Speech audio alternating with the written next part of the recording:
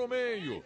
Moisés esperou para fazer o passe aberto no meio da área, tiro pro gol!